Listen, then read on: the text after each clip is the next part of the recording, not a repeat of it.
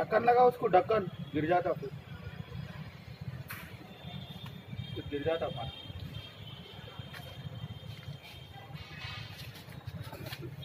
Thank you.